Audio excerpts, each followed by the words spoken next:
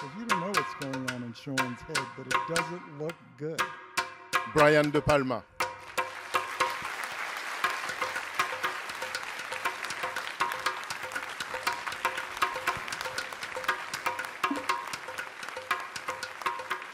Brian De Palma, nous sommes ravis de vous accueillir à la Cinémathèque française. Je disais en introduction que vous avez réalisé 30 longs métrages depuis les années 60 et que lorsque la Cinémathèque française vous a demandé quel film vous vouliez projeter avant votre masterclass, vous avez répondu sans aucune hésitation Casualty of War. Vous n'avez pas donné de second choix, c'était celui-là. Ma première question est évidente, c'est pourquoi Casualty of War? Pourquoi ce film pour représenter votre cinéma aujourd'hui? Et en quoi ce film a-t-il été et est-il aussi important pour vous I think the story, which is based on a real event that was reported in the New Yorker in 1969, epitomized my feeling about the Vietnam War, the, the innocent rape of this country. And it was a very difficult movie to get made. People would option the material and then they'd get a script done and then it would go nowhere. And it was only because of the success of The Untouchables that I had enough muscle to get the movie made.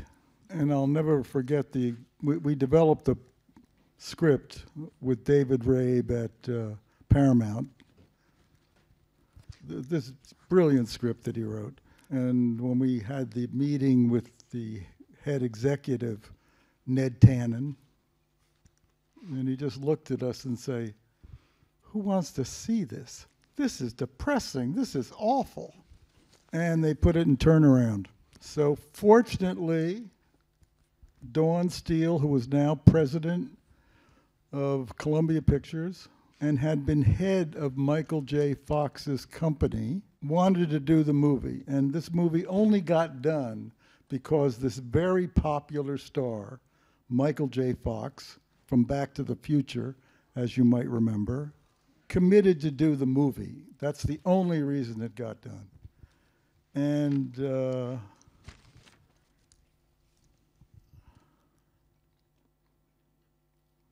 it's a very sad movie.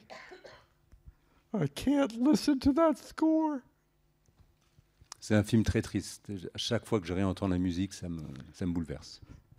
And it's difficult for me to watch. Il est très difficile de revoir ce film. C'est c'est vrai que c'est un film très difficile à voir parce que, comme pour le personnage, on a le sentiment de regarder un film comme un cauchemar les yeux ouverts. Et hum, c'est sans doute aussi ce qui a fait que le film, en partie aux États-Unis, a été rejeté et que le film a été critiqué. C'est qu'en fait, il était très difficile à regarder, tout simplement. Ma question, c'est est-ce que d'une certaine manière, vous ne. Et que la difficulté que vous avez avec Hollywood, c'est que vous espérez former par vos films un spectateur adulte? Vous demandez à votre spectateur, comme à votre personnage, de faire un trajet de conscience. Et que vous demandez au spectateur d'être adulte avec un art, le cinéma, qui se conçoit majoritairement comme un divertissement. Est-ce que cette contradiction-là, vous l'avez affrontée toute votre carrière?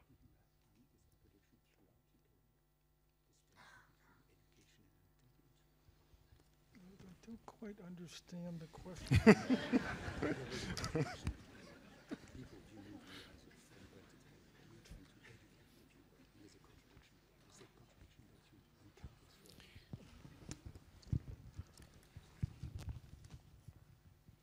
Well, it's a very difficult s- subject matter, especially for an American audience. Uh, and uh, so I was so struck by the original story. And I later sort of retold it and redacted because we did the same thing in Iraq. You know, we send these innocent boys over there in these crazy, ridiculous wars, and they basically go crazy and do really bad things. And uh, it got a brilliant review by Pauline Kael, one of the best reviews I've ever gotten, basically. And, and sh- she really understood the movie. But then, of course, it died. Nobody went to see it. And uh, c'est la vie. Est-ce pour cette raison que vous avez coupé les deux scènes qu'on a vues Est-ce que ces deux scènes, vous les avez coupées volontairement ou à la demande du studio? Well, you know, the ridiculous Hollywood system of testing a movie like this, you know, what kind of reaction you're going to get. Not very positive, like, oh my God, do we have to see this? And these two scenes were in the original movie, but you know, you get pressure from the studio, you know, as though we're going to make it any less horrible. But it's important to know, and why I wanted the scenes, and I put them back in the DVD, when it, uh, is the fact the Army wasn't happy about what he was doing, and you had to see that the, the way they interrogated him, you know, th- they wanted to break him down because this was not something that obviously they were proud of. So it was very important to not let Michael J. Fox get off the hook. They just lacerated him. And especially at the end of the last uh, cross examination, when the guy says, Oh, yeah, you were where? Uh, way somewhere? You did nothing? And it just dramatizes how, how he feels that he failed. He did nothing. He didn't act. He didn't save her. And to me, it's very sad. Vous l'a- vous l'avez dit au début, euh, le film a pu se faire grâce à Michael J. Fox. Et Casualty of War fait s'affronter deux personnages, euh, donc le sergent Meserve et le soldat Erickson. Donc d'un côté Sean Penn, qui est un acteur qu'on pourrait qualifier un acteur de la méthode, euh, méthode acteur, et, et de l'autre côté Michael J. Fox, qui lui à cette époque-là était un comédien très populaire. Comment s'est passé le tournage entre deux, entre Michael J. Fox et Sean Penn Ay, ay, ay. Uh,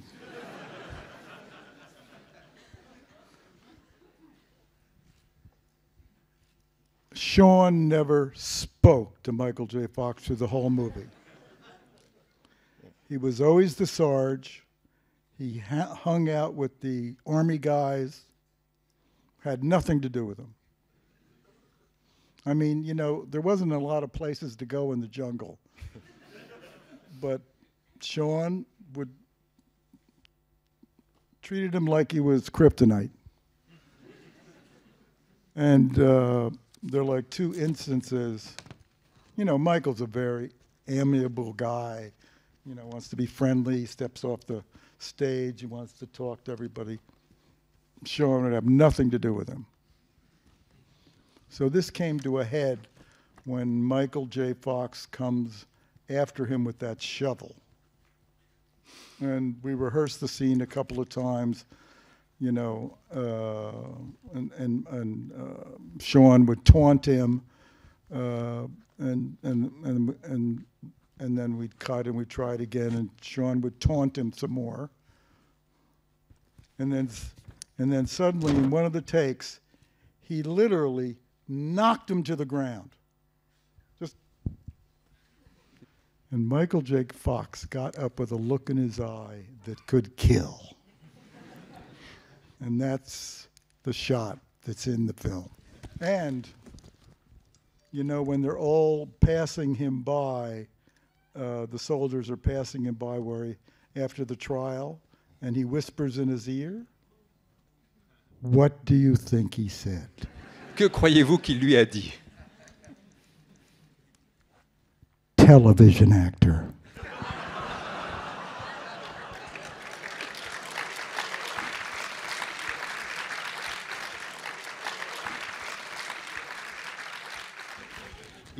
Il y a une autre scène avec Sean Penn particulièrement étonnante, c'est celle où Sean Penn se rase.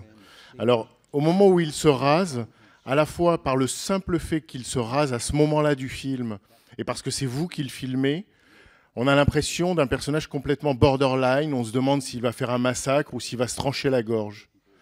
Mais à ce moment-là aussi, vous utilisez une technique qui vous est propre, qui est presque une signature visuelle, c'est-à-dire que vous utilisez le, split focus effect, c'est-à-dire un plan où vous faites le point aussi bien sur le visage au tout premier plan que sur les figures qui sont au fond du plan. Une sorte de profondeur de champ où tout est net. Et plus largement, on a le sentiment, et c'est ce qui fait votre force, c'est que vous êtes un cinéaste qui se demande en permanence comment il va pouvoir exploiter l'espace du plan et le rendre le plus dynamique possible. Yes. C'est vrai. Est-ce que vous pouvez nous parler de ce split focus effect Well, Est-ce que c'est vous qui l'avez inventé It ju- just focuses the audience on the two planes you want them to be looking at. Because you don't know what's going on in Sean's head, but it doesn't look good. C'est très proche d'un autre effet visuel, d'une autre signature qui vous est propre, qui est le split screen, l'écran partagé. Là, on a l'impression que vous trouvez le moyen de faire un split screen autrement. Pourquoi cette figure du split screen vous a tellement obsédé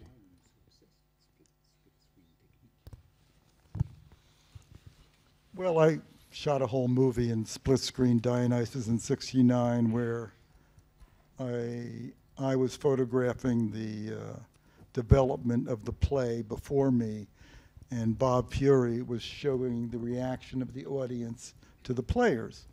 That's where I first uh, saw split screen in, in that documentary that I made.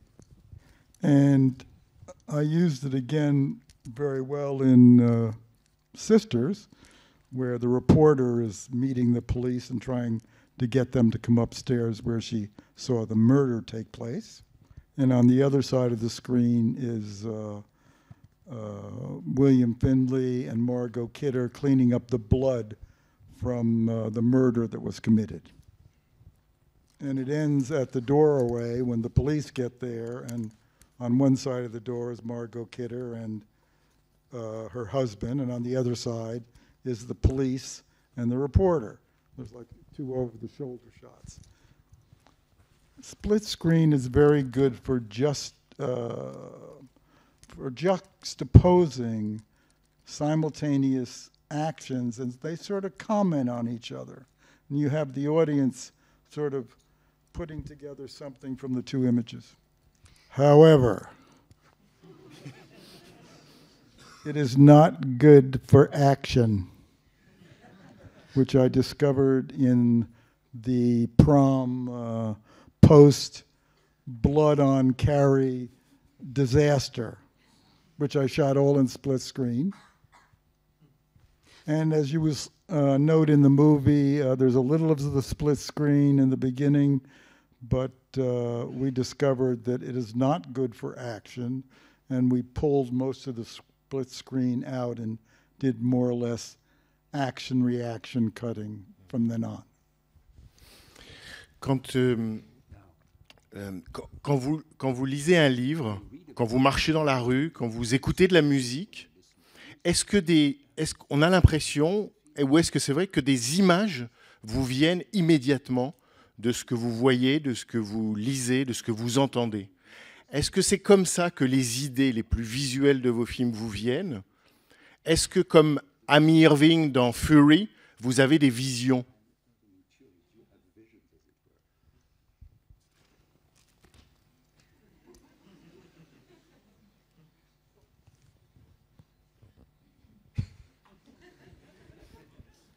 My God. Well, to make an example, like uh, the Untouchables. Um, there's supposed to be uh, a train chase in which uh, Eliot Ness's guys go after uh, Al Capone's accountant, but uh, we were over budget and couldn't afford a train chase. So, in the back of my brain, from my days at cinema school, I remember a staircase and a baby carriage. and I said to my production designer, find me a staircase. and um, we shot in that location for seven nights. And unlike most of the uh, most of the uh, way I prepare for a film, I just sort of made it up as I went along. I didn't have time to storyboard it. I just got there, and uh, what's very interesting about that sequence, and, and something that one learns from Hitchcock, is that you have to very carefully orient people to the spaces you're in so they know where everything is when the action begins. And the great example of that is the crop duster scene where you see the bus arrive, Cary Grant get off, and you see him look across one direction, then look in another direction. Otherwise, he takes a very long time to set up the spatial relations in the scene before the action or when the crop duster arrives. And you have to be able to engage the audience interest because you must do this very slowly. So Ness comes in and he goes to the top of the staircase on the balcony. You establish his points of view, the doors where the passengers going to the trains will come in, the clock, tick, tick, tick, tick, the stairs. And why do we look at the stairs? That poor woman is trying to get her baby carriage up them. So you keep the audience engaged because you've got a woman with a baby carriage going up the stairs. Donc Well, là, pardon. Well, he's waiting for the people to come through the doors, and the clock is going tick, tick, tick. And when the gangsters come through the doors, he's got a baby carriage in the midst of all this. And then the action begins. En tant, que, en tant que spectateur de vos films, on a plein d'exemples, parce que vous nous donnez plein d'exemples de situations comme celle que vous venez de décrire, spectaculaires. On pense en particulier, parce qu'on vient de voir Casualty of War, on pense par exemple à cette galerie souterraine, ce tunnel, l'idée de faire une coupe dans la terre pour qu'on voit le sous-sol de cette guerre. Euh, mais on pense aussi à, Tom Cruise au bout d'un fil dans Mission Impossible. Il y a des dizaines d'exemples. Et il y en a un que j'aime beaucoup, c'est dans Carrie, la mort de Piper Laurie. Pour tuer la mère de Carrie, je crois que vous, vous la faites mourir par télékinésie avec des, ustensiles de cuisine qui sont projetés, alors que je crois qu'elle meurt pas du tout comme ça dans le livre. The wonderful thing about Carrie, they've remade it many, many, many times. And they have scrupulously done it the way the book was written, and it just doesn't work as a movie. Et ça le fait pas comme film. Uh, so when I saw that scene in the book, and I looked at the screenwriter and I said, She has a heart attack? I shoot Carrie looking at her, and she goes, Come on, nobody, come on. This is telekinesis. This is Carrie. Let's think of something. Oh, look at those utensils over there. So, if we're going to crucify her with utensils, now why would she do that? And that's when I told the art director, Mr. Jack Fisk, let's put a little little crucifix in her closet with a saint with lots of arrows in him. And uh, if you prefer the other ones, you can watch the other carries and watch her have a heart attack. Une- chose qu'on dit peu, à mon avis, à propos de vos films, c'est à quel point les histoires que vous racontez, tout aussi invraisemblables ou folles qu'elles sont, euh, ont une grande part pour vous d'autobiographie. Ce sont souvent des histoires personnelles. Au sens, par exemple, d'un film peu connu comme Home Movies ou d'un film très connu comme Dress to Kill, le personnage de Case Gordon ou euh, John Travolta dans Blowout. Vous avez des grandes affinités avec ces personnages-là. Et en quoi ces personnages-là parlent de vous? Quels sont vos points communs avec eux Well, I was a bit of a computer nerd when I was in high school. Ah, yes, that's right. I did tape record the girls' sex education class. Can you believe it? Uh, uh, one of the girls in the class said, You can't do that. And I said, I'll figure out how to do it. So I ran a microphone up from the library. I hid it in the table in the sex education class. And I taped the whole class. Can you imagine what girls were saying in the 50s? Ay, ay, ay. I'm hot. I'm hot. What is that? I was so proud of what I had done. I had the tape, but the problem when you do a secret tape is who do you play it for? And I was so proud of what I had done. I played it for the girl that said I couldn't do it, and she turned me in.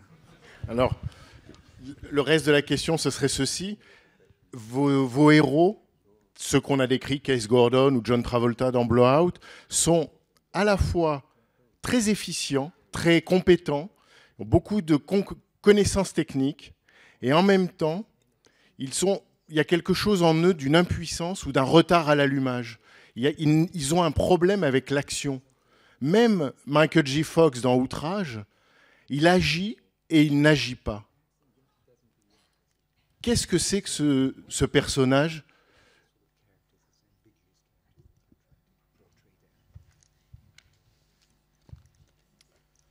Ah, the psychoanalysis. Ok. Ah là là, la psychanalyse. Doctor,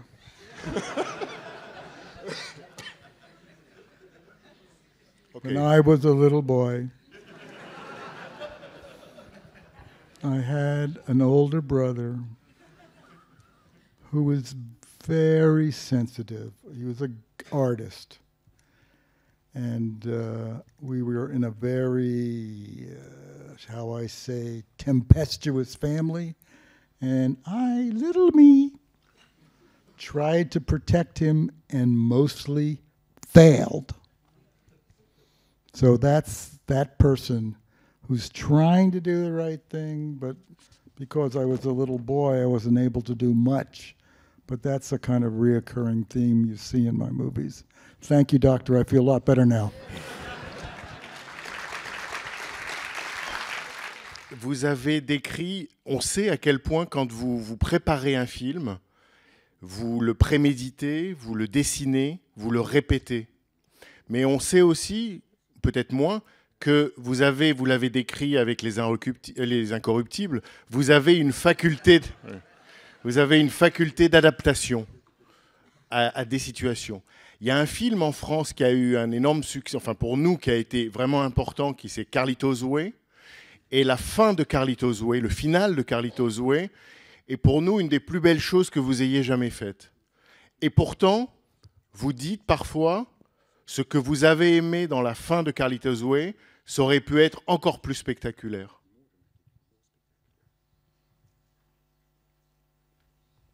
Well, again, that's an example of, uh, I don't know if this answers your question, but I think so. It's an example of, uh, I had prepared a very elaborate uh, shootout on the escalators in the World Tower, World Trade Center. And I had, uh, you know, uh, sketched out all the camera positions. They had like these really long escalators that went to the subway. And we were scheduled to go shoot it, and suddenly the uh, terrorist uh, blew up uh, the bottom of the World Trade Center. This is before 9 11. It's the first time they tried to blow it up. So I said, uh, suppose uh, he takes a train to the to Florida. So uh, find me an escalator in uh, Grand Central Station. And again, that is an example of one scene that was very carefully plotted out. Now I had to find the, another location to redo the scene, which starts with that very elaborate uh, Steadicam shot when Al comes in and goes around and back and forth and down and whatever. You have to give Al a lot of credit. He's like a dancer. And uh, the way he moves, and when you have to do a complicated shot like that, everything's got to work exactly perfectly. And he did it, and it's in the film, and aren't we all lucky? Mais entre la séquence du World Trade, combien de temps vous avez développé la séquence du World Trade Center et combien de temps vous avez eu pour vous adapter à la nouvelle situation? No, it was another example of, you know, here we are in Grand Central. Uh, Al's coming in. He's being followed by the guys that are trying to kill him. Okay, let me think. Uh, Larry McConkey, who was a fantastic Steadicam uh, operator, I would, you know, work the thing out and uh, and I'd say, okay, now we got him when he's going down on the escalator and that's when he, the big guy sees him and he shoots him, and that's when the shootout begins. Bang, bang, bang, bang, bang, bang, bang, bang, and then Al uh, races to the train, and of course gets shot by Benny Blanco. I think you're trying to suggest that some of my best sequences are not the ones that I plan, but the ones I have to make up as I go along. En, préparant cette discussion avec vous, j'ai lu et relu des entretiens et j'ai été frappé par une chose, à quel point dans la carrière d'un cinéaste, il y a parfois autant de films réalisés et parfois plus même de projets non réalisés. C'est fou le nombre de scénarios qui s'écrivent, d'histoires qui se projettent et qui s'espèrent et qui ne se réalisent pas. C'est, euh, je sais pas, Nazi Gold, Ambrose Chappell, sont des, parmi les scénarios que vous avez envisagés. Et on se rend compte, en, en suivant votre trajectoire à Hollywood, que les films sont, en fait, adviennent grâce à des accidents heureux ou au contraire, il y a une mauvaise conjonction. Dans tous ces projets non réalisés, si demain vous pouviez en réaliser un vraiment, ce serait lequel?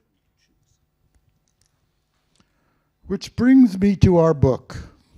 All the projects that were never done are right in here. Every idea I and Susan ever had is in this book. You read this, you will understand everything. yeah, it's true. I mean, there are a lot of things we never got to make, and uh, and a lot of story ideas still lie in my computer, uh, some of which appear in this book. Uh, but uh, that's, again, c'est la vie. That's life. A, a- a lot of being, I don't know, successful or whatever you want to call it, you have to have good luck. Uh, and sometimes out of tragedy comes very good luck. The fact that something bad happens leads to something else. So keep at it. An example of that is uh, uh, I was developing Fatal Attraction, which was based on a short written and directed by the writer of Fatal Attraction. And I was a little concerned that the producers were a little squeamish horrific ending that I don't know if they were too comfortable with. So the thing that really, really turned me away from the project was late at night I saw the short that the writer had made, which the feature was based on. And I said, that short is perfect. What, what's the point of making this movie? So I had a very difficult breakfast with Sherry Lansing And I looked at her and I said, Sherry, I can't do this movie. And the next week, Art Linson, a producer at Paramount, offered me The Untouchables, and the rest is history.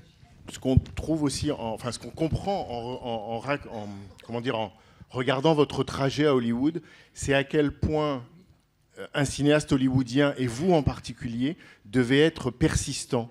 Vous êtes presque un combattant. C'est-à-dire qu'il faut vraiment se battre en permanence et vous êtes absolument déterminé en fait.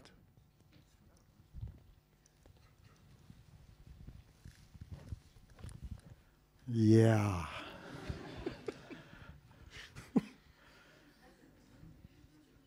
well, after I made Carlito's Way, um, I remember it was shown at the Berlin Film Festival, and I was like standing in the wings looking at it uh, on the big screen, and I said to myself, I can't make a better picture than this. I said, I'm going to have to make a big hit. So, fortunately, uh, my agent went insane for some reason. I don't know why. And uh, Michael Ovitz, who had been trying to represent me for years, said, Brian, why don't you come over to CAA? Would you be interested in working on uh, Mission Impossible with Tom Cruise?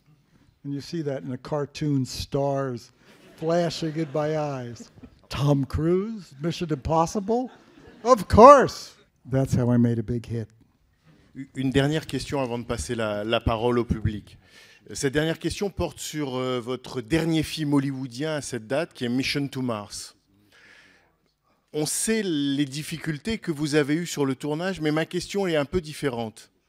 Euh, je voudrais que vous imaginiez ce film en tant que spectateur qui voit un film de Brian De Palma.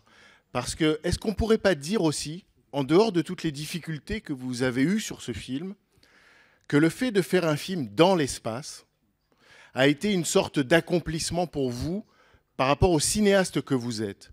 Pendant 30 films et depuis le début des années 60, vous, avez, vous n'avez cessé de faire voler votre caméra. Vous avez fait des panoramiques à 360 degrés, des travelling, des caméras subjectives, de la steadicam.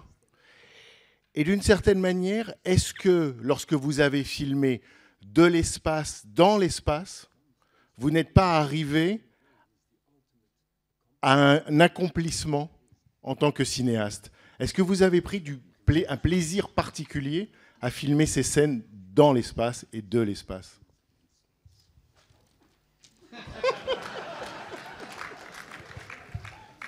Are you crazy?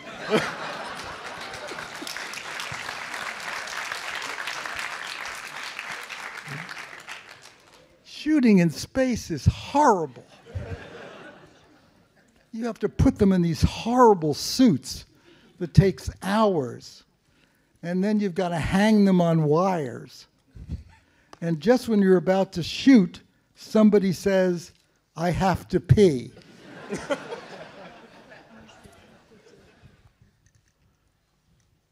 Uh, Mission, Impo- um, uh, Mission to Mars, uh, I came on because the former director uh, had a budget of, uh, I think, $140 million, and the studio said, no way.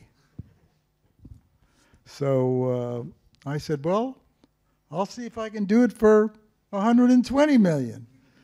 And uh, he left, and I took it over. Um, and it was a kind of a challenge, you know, being a, a- science geek, uh, you know, I knew all about Mars and the face on Mars, and I liked the mythology of it. And, and I think uh, the thing you have to sort of get across to an audience is that these guys that have gone, uh, you know, to the moon or, uh, you know, up to the space station, they have a kind of magical belief uh, that is kind of awe-inspiring. And I fear that the audience missed the cackling Brian De Palma in the making of this film. the famous De Palma cackle.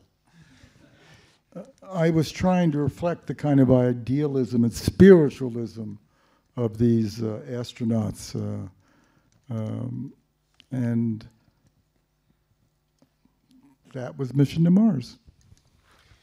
Si vous avez des questions, des réactions des, par rapport au film, par rapport à ce que De Palma a dit, c'est maintenant. Voilà.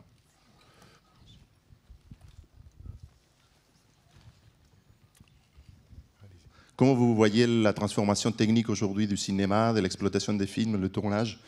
Qu'on commence à regarder des films dans des plus petits écrans, de plus en plus petits, et, et l'arrivée du numérique?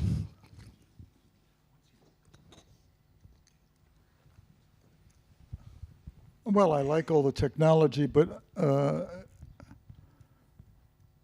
being a science nerd that I am, I'm very aware of it all, and I use it. Uh, uh, uh, all the digital, you know, shooting and digital editing, all that stuff. But the big problem for me is that uh, I need a big screen because I have these big visual sequences. So uh, that doesn't help me much, the digital technology. You need a big screen to see these movies. Euh, je voulais revenir, moi, sur Outrage. Euh, il se trouve que la semaine dernière, j'ai lu une interview de, euh, de Coppola à l'époque où il était en train de monter Apocalypse Now. Et il parlait de son film, Apocalypse Now, comme d'un voyage, etc., mais aussi d'une réflexion sur le bien, le mal et la morale. Et en revoyant euh, effectivement Outrage, que j'ai aussi vu euh, très peu de fois parce qu'il est très dur à voir, j'ai compris euh, que vous étiez ému, comme beaucoup de gens ici. Je voulais savoir si c'était aussi quelque chose que vous vouliez qu'on perçoive dans ce film. Le bien, la morale, le bien et le mal. Whoa.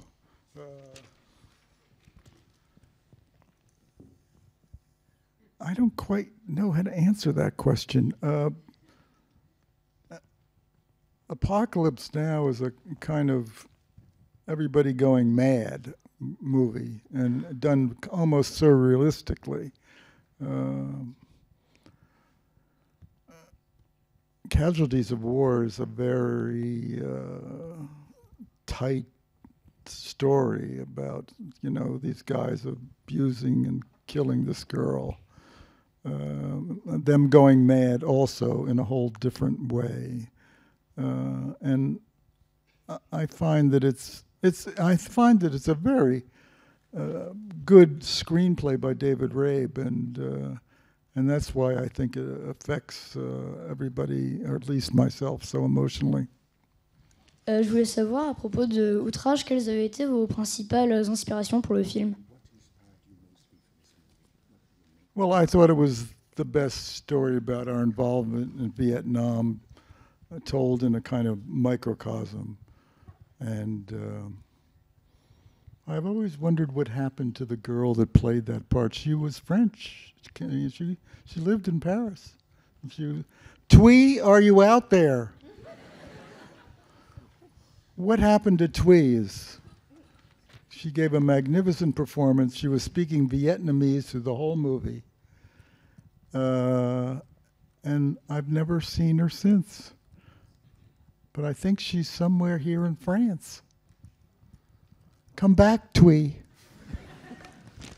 Avant de venir, j'ai regardé un documentaire euh, qui vous est consacré, euh, donc c'était en 2015, où vous, vous passez l'ensemble euh, de vos films open fin et vous concluez par euh, cette phrase. Vous dites que les, les films d'un réalisateur, euh, it's a record of things you didn't finish, basically. Qu'entendez-vous par là, s'il vous plaît? Didn't finish? How did you get that idea? I think I was drinking when I was interviewed. I'm not finished.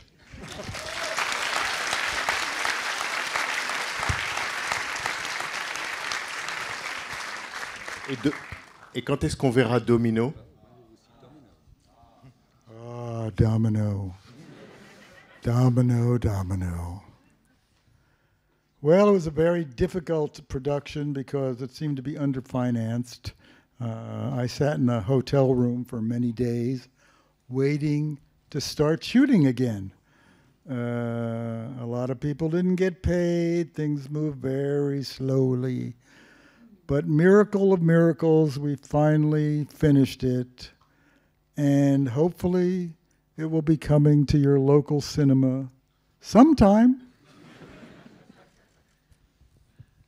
Vous avez travaillé avec les meilleurs compositeurs de musique de film. Je voulais savoir comment vous faisiez pour choisir tel ou tel compositeur pour tel film. Est-ce que vous attendiez une sonorité spécifique de la part de ces compositeurs?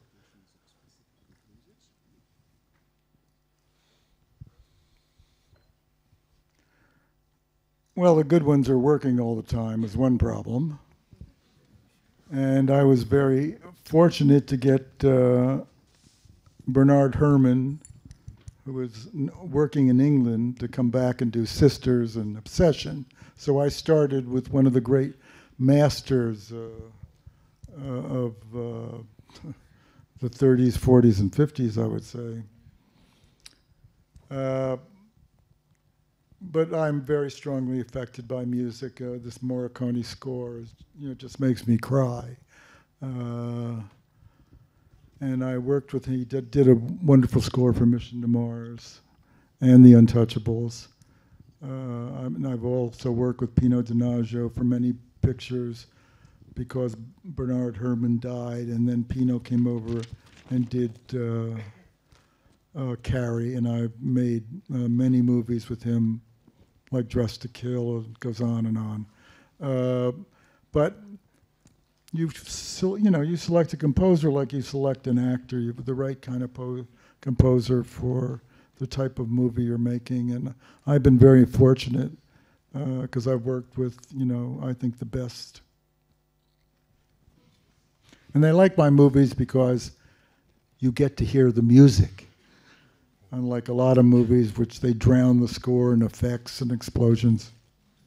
Euh, en tant que réalisateur de, de nombreux chefs-d'œuvre sur des sujets différents et, et désormais euh, écrivain, euh, quels sont selon vous les, les principaux critères d'un très bon scénario?